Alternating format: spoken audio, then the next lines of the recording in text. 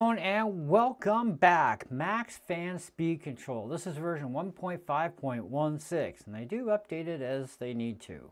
Um, and you get notified. Now this is a totally free app. You can just google Macs Fan Control and voila and you can download it. Anyway very handy. Intel or apple silicon Macs makes no difference okay? Works on both. Now with that why would you want this program? Well, I, I personally want it because, well, it helps me keep a, an eye on the temperatures of all my SSDs and or hard drives, okay, HDDs, uh, that can come up in the list, okay? Not every drive is capable, so you may even have to restart your computer um, in order for changes to take effect, okay? Or quit and restart the program. One of the two, maybe even both, um, when you're plugging in a new device, okay, that this can work with. Anyways, uh, Western Digital drives work fine. Uh, Kingston drives, obviously your Apple SSD. Uh, you can have it displayed in Celsius or Fahrenheit. Guess depends if you're Canadian or American or whatever country you're from. I like the whole Celsius value myself. However, um, it gives you temperature readings of a lot of things like CPU efficiency cores, your airport proximity, uh, performance core average. Now you can only pick one core for it to list up on the top menu, okay? And uh, that's where you'd want the information displayed quickly and you can also have your fan speed registered, so exhaust. I'm going to walk you through that. Um, because about 99% of everything I do on my M1 Mini is strictly, you know, the performance cores, well, I'm more concerned with knowing what those temps are. Right now I'm hitting about 88 Celsius because I'm actually running handbrake compressor um, in the background other than doing my screen recording app to do this. But that's actually an average temperature for a compressor. When I'm editing a video, the thing barely even moves. Um, and my fan speed right now is around about 3,900 RPM, roughly 3916, around that area. So, but I want to keep an eye on that. But you can choose which one. It's kind of up to you.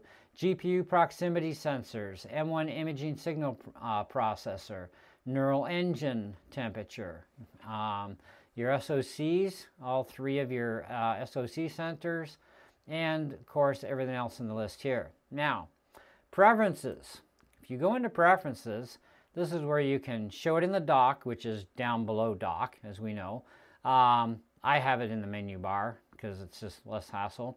Uh, check for updates whenever the app starts. So that could be every time you boot up your computer or reboot the computer. Auto start minimized when you log in, recommended, okay? Um, and that puts it up in the top corner generally. All right, now temperatures, connected SATA, connected NVMe drives. Works perfect with Thunderbolt drives, will work or will not work with some external type C drives. Kind of varies on that one, okay? Um, I build my own drives, uh, so I don't usually worry about it. They usually all show up for me. Um, but some cases won't if they're just a straight type C. They don't all. Um, use Fahrenheit temperature scale or, and of course, precise display of temperature when possible. Something you might want to check on. Now, um, we don't have any eGPUs connected via Thunderbolt, so it's great. All right. Now, uh, icon color, monochrome or colored, color always looks better. Okay. Fan, uh, exhaust or none. Okay which means you won't get a fan reading up top if you have it listed as none. But if you list exhaust, then it's going to show you that fan, right? If you have more than one fan in your Mac, I'm not sure how that works because I've only ever had Macs with one fan, so uh, that's all I can tell you there. Sensor. Now, this is one where you can take the priority. Which one is the most important to you? That's the one that you want shown. So for me, it's performance, okay? And uh, yeah, and you can just click hide to the menu bar and poof. Now, the other thing you can do too is your fan speed. Now, default, this is on automatic, which means Apple gets to take over, okay?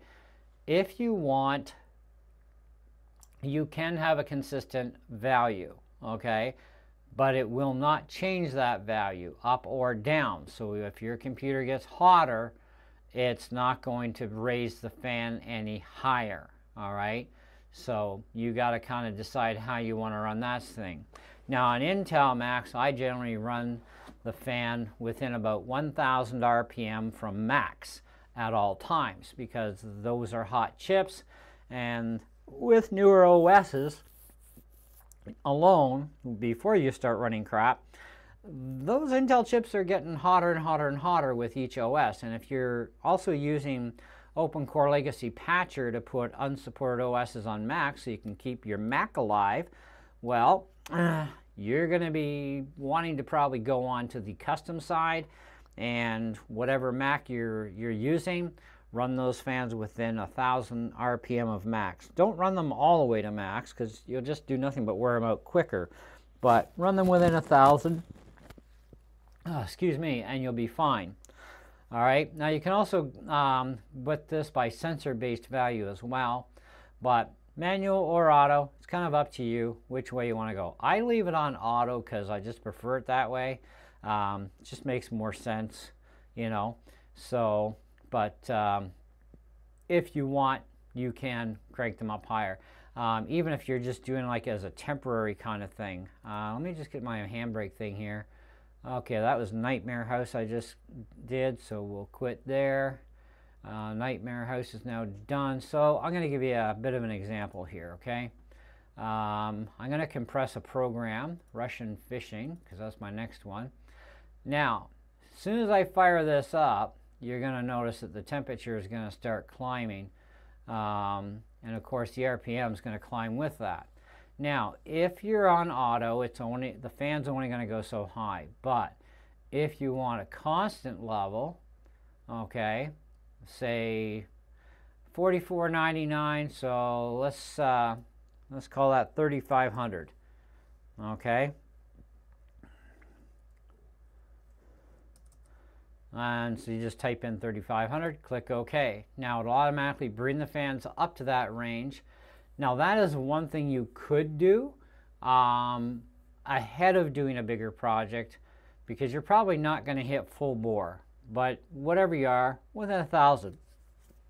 And that could keep things a little bit cooler yet um, before things would normally start to get much, much hotter.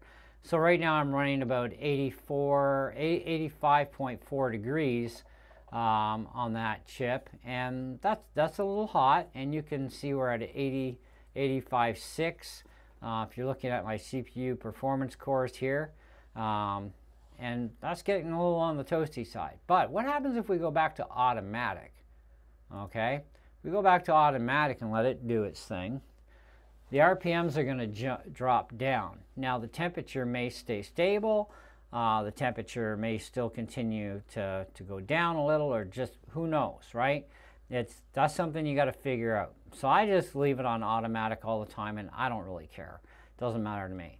So whenever you're done with the program as far as messing around with your settings, you can either hit the X in the corner here to just close this window out and it stays running in your top menu bar at all times.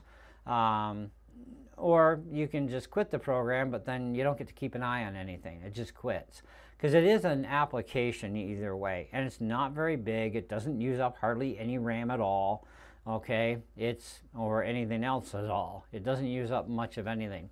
So it's kind of worthwhile having the program. But again, you know, that's something that's up to you. There's a lot of utilitarian programs out there for Macs. This is just one of them and it is free. There is a paid version though that can give you access to a bunch more stuff apparently. Um, maybe one day I'll pay for it, but I've been using this program now since the, pretty much the first time I heard of it years ago when I had Intel Macs. Um, and yeah, it's it's been fine. I've always used the free because all I care about is certain things, and for that I don't need to pay for the program. But if I wanted more access to more features, then yeah, I, I definitely would pay for it because, well, you don't have a choice anyway. So there you go. But otherwise, it is 100% free. There's no ads or any other garbage. So away you go and have fun. And see, now you can see I'm up to 87.2 and the fan automatically climbed up a little over 3,500 RPM, okay? And we're pushing 89 degrees. This is what compressor programs do. Like video editors, depending on the editor, like I use iMovie and it doesn't even barely move the thermostat, let alone it doesn't do anything with the uh, fan. It always stays at idle. But then again, I'm a simpler editor. I'm not a complex kind of guy. So, and I use iMovie. You know, I'm not using DaVinci or Final Cut or anything else super heavy duty, right? So, mileage varies. varies. Anyway, that's what I want to talk to you guys about. Thanks for watching. Hope you enjoyed the video. Go check out Macs Fan Control. Like I said, Intel or Apple Silicon both. See ya.